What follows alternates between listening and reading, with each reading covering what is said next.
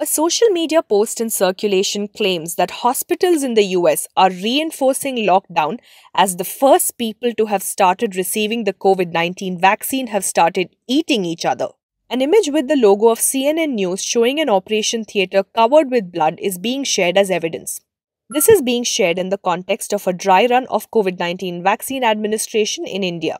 Reverse image search of the image led us to a similar photo in a tweet by a US medical professor on 2nd September 2019.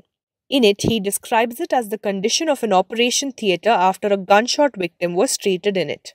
We searched for more information using these keywords and found a similar image in a New York Times article dated 14th February 2019. The photo is credited to a medical student called Eric Curran and describes the scene as the visual of a trauma bay after treating gun violence victims. We also found another similar photo on a meme website.